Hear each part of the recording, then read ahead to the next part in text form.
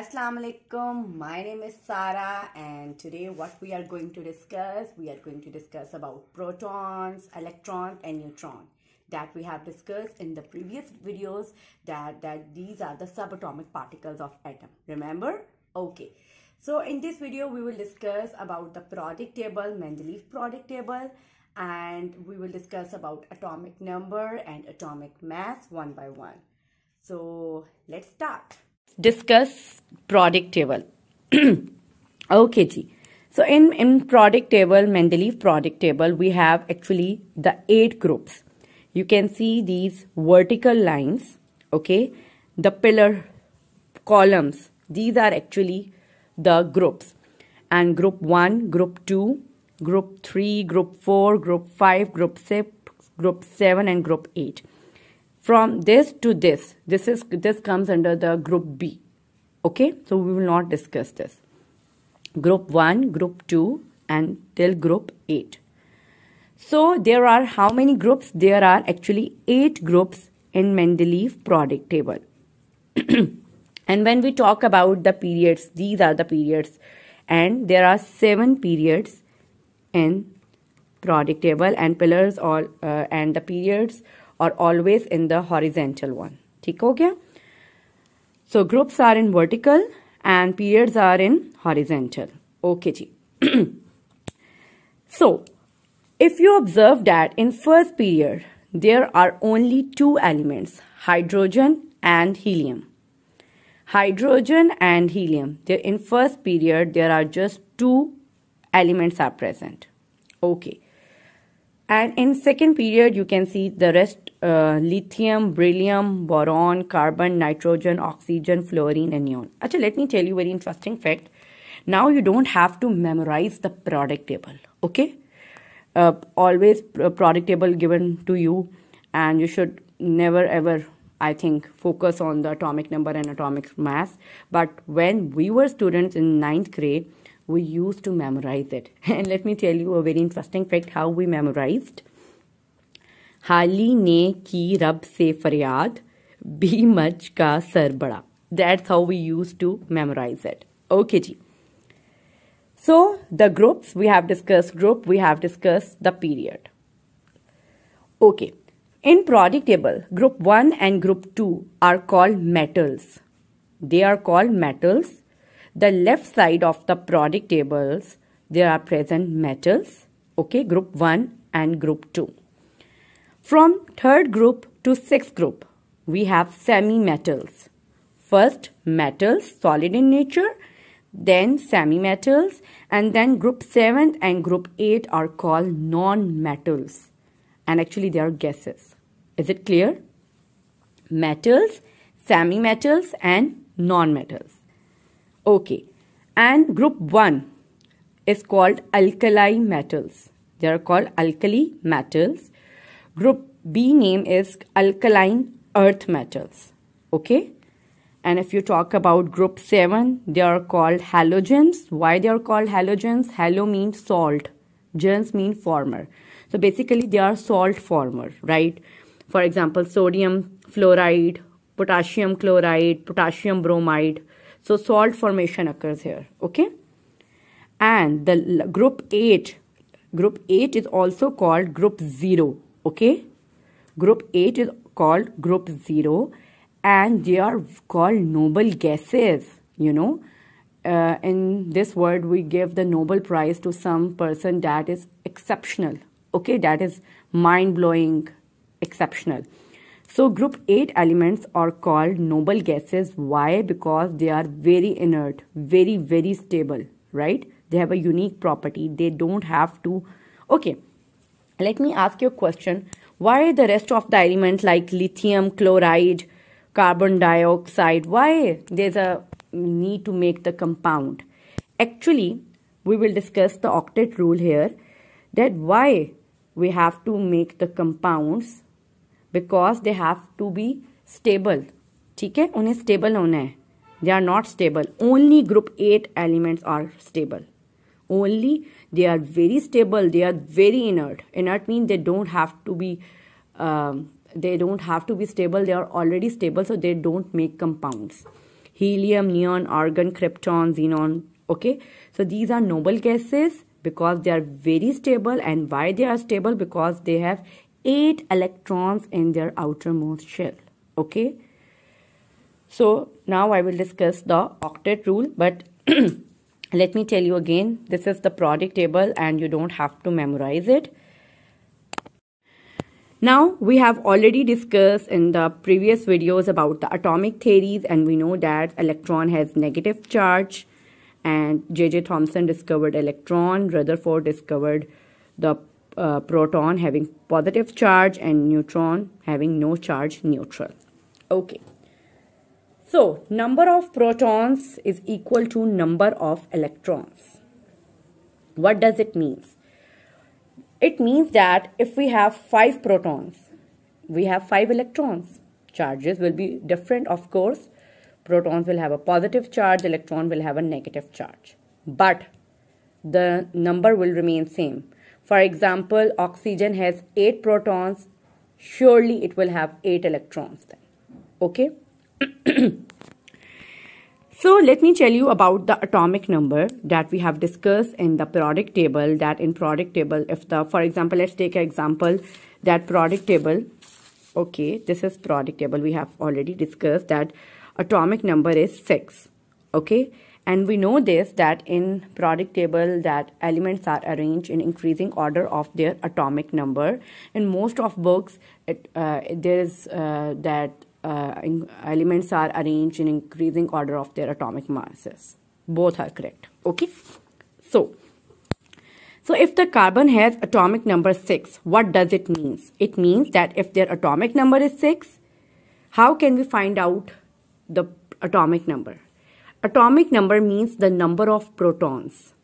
Number of protons tell us about the atomic number of that element. If any if I gave you uh, any element and I am asking you that its proton, it has seven protons, right? What is the atomic number? You will surely say seven. That number of protons tell us about atomic number and in most of the books you can see that the atomic number is actually the proton number, right? Proton number tell us about the atomic number. like carbon has atomic number 6 atomic number 6 so it's proton number 6 and as we know that number of protons is equal to number of electrons. So proton number 6 so electron number 6 okay. And uh, atomic mass is 12 the atomic mass of the carbon is 12 if you, uh, someone asks you that what is the formula of atomic mass? How can we calculate the atomic mass? We can find out the atomic mass by number of protons plus number of neutrons. We know this that this is an atom and this is a nucleus and inside a nucleus we have neutron and we have proton right? So this tell us about the atomic mass. So number of proton is 6 and uh, number of protons plus number of neutron. Okay. If i gave you a okay if i gave you that this is the carbon it has 6 atomic number and 12 atomic mass so please tell me about the number of neutron. How can you figure out the number of neutron? You can figure out the number of neutron by this this formula atomic mass minus atomic number. So atomic mass is 12 and atomic number is 6. So 12 minus 6, 6 the number of neutrons. And let me tell you again, you don't have to memorize the atomic number and atomic mass. Okay?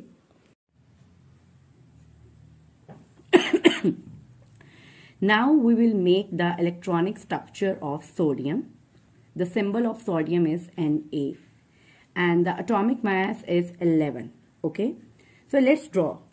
So how we will draw? First of all, this is nucleus. Okay. Then after nucleus, this is the first shell. You can say it orbit or shell. Okay.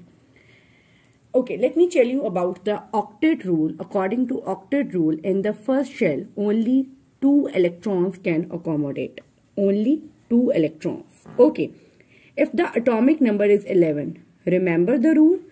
Uh, atomic numbers mean proton number and number of protons is equal to number of electrons. Okay, so it means it should have uh, 11 electrons. So come to the point. So according to octet rule, the first shell should only have, can only have two electrons. Okay, then there comes the second shell. First shell can accommodate only two electrons and rest of the shell maximum eight electrons. So one, two, three, four, five, six, seven, eight. 8 plus 2, 10. But the atomic number of sodium is 11. Can we add one electron here? No, a big no because according to octet rule, rest of the shell can have maximum of 8 electrons. Then we will draw one more shell and then we will add one more electron. Okay, G. So let's count the electrons. These are 11 electrons. 11 electrons mean number of electrons is equal to number of protons. 11 electrons, 11 protons. And we know that how can we find out the atomic number? Atomic number is is actually the proton number. Okay let me give you a very interesting information that if someone give you a this structure and I I'm saying this that unknown element. So tell me the number of period and, and number of group okay now come to the periodic table okay this is the sodium this is it comes in the first group and the third period. First group and third period. Okay, G. So, number of electron in outer shell tell us about the group number. Number of electrons in outer shell. So, how many electrons in outer shell? One electron. So, here it comes. Sodium belongs to first group. Okay. And number of shells tell us about the period. So, Number of shells here are 1, 2, 3 and it belongs to third period. Okay, now we will, I will draw electronic structure of, okay, let's take us nitrogen. Nitrogen has atomic number 7. Okay, let's draw. This is nucleus, this is first shell and according to octet rule, we can only draw two electrons in the first shell. Okay, now remaining how many electrons? um, 5. So 1, 2, 3, 4, 5. 5 plus 2, 7. So this tells us that sodium, uh, nitrogen belongs to which period? 1, 2. Second period. So let's check. Yes. Nitrogen belongs to second period. And which group? It uh, 1, 2, 3, 4, fifth group. And 1, 2, 3, 4, fifth, 5. So 5 electrons in the outermost shell. So the most important point is number of electrons in outer shell tell us about group number and number of shells tell us about the period. This was about my today's lesson. Let me recall important points that number of protons is equal to number of electrons. Like if we have 7 protons, we have 7 electrons. Is it clear? Then a second point, atomic number. How can we figure out atomic number? By the number of protons. And if we talk about atomic mass is equal to number of protons plus number of neutrons. Okay, let me tell you very, very important point that every element is unique because of its atomic number.